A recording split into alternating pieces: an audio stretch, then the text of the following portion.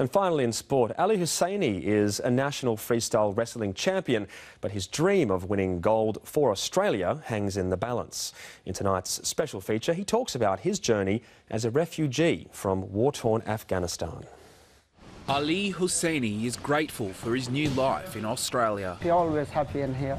No, no fighting, no shooting, no Taliban. I'm safe here. I'm training, working. His brother was among family members killed during the war in Afghanistan. Taliban killed my cousins. He remembers travelling to the capital Kabul for wrestling training. People come out shooting, killing. No good, but um, one day I think I go to Australia. Ali arrived in the country four years ago. Indonesia to Christmas Island.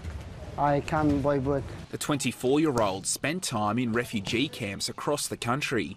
Now, he's settled in Sydney and inspiring others. He has so much influence, he has you know, changed me. Instead of going to sort of other ways, he, you know, he inspired me to come to sport. Ali is undefeated and the national champion in the 57 kilogram weight class, but he's still on a bridging visa. There is no doubting Ali is one of the best wrestlers in the country, but he can't represent Australia until he becomes a citizen.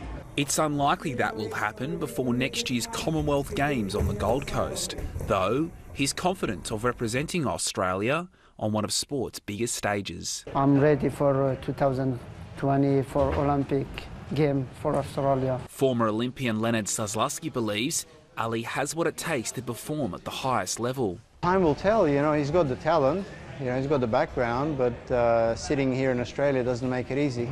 A sporting journey that's just getting started.